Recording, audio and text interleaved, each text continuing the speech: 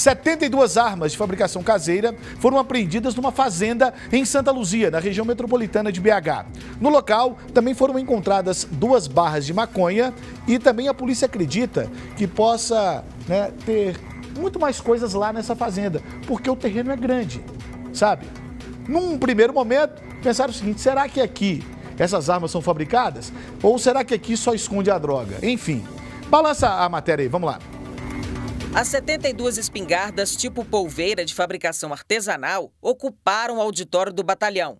O armamento foi apreendido depois de uma denúncia. O arsenal foi encontrado numa fazenda em Santa Luzia, na região metropolitana de Belo Horizonte. As espingardas estavam desmontadas e guardadas em sacos de linhagem. Foram os próprios policiais que montaram as armas e eles perceberam que elas já estão prontas para o uso. O militar faz o teste. O armamento novinho nunca tinha sido usado e pode ter sido fabricado dentro da propriedade. Dentro da, da casa principal tem um quarto.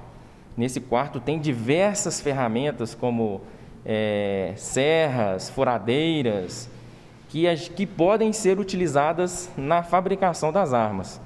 Mas nós não conseguimos identificar a matéria-prima, ou seja, canos, é, a coronha das armas dentro da residência mas ferramentas tinham bastante. Segundo a PM, o suspeito de ser o dono das armas conseguiu fugir assim que as viaturas ocuparam o terreno.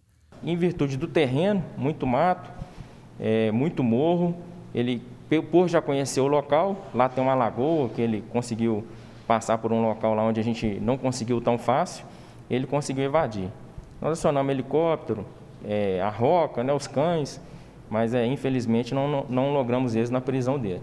Em outra casa que fica dentro da fazenda, os militares abordaram um idoso de 70 anos. Ele trabalharia como caseiro e não soube explicar por que haviam armas no local. Em entrevista, nós conseguimos descobrir que perceber que ele sabia de tudo, que era realizado o comércio de armas e drogas, mas é o envolvimento final dele nós deixaremos para a Polícia Civil fazer esse esclarecimento. Além das 72 espingardas, na casa principal da fazenda foram encontradas outras armas, uma delas calibre 38. Duas barras de maconha também foram apreendidas, mas a polícia acredita que na área tem muito mais drogas. Com certeza, né? A gente vai manter o foco, né? Com possibilidade de novas ações no local.